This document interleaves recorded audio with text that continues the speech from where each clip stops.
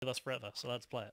There once was a stock that put to sea. The name of the stock was GME. The price blew up and the shorts dipped down. Hold my bully boys, hold.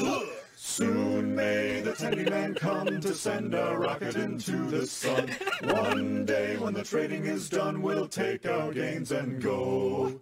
Before the news had hit the market, WallStreetBets came up and bought it. With diamond hands, they knew they'd profit if they could only hold. No deals were cut, no shorts were squeezed. The captain's mind was not on greed, but he belonged to the autist's creed. He took the risk to hold. For 40 days or even more, the stock went up, then down once more. All gains were lost, it was looking poor, but still those traders did hold. As far as I've heard, the fight's still on, the short's not squeezed and, the game's not won. The Tendieman makes his regular call to encourage the captain, crew, and all. Soon may the Tendieman come to send a rocket into the sun. One day when the trading is done, we'll take our gains and go.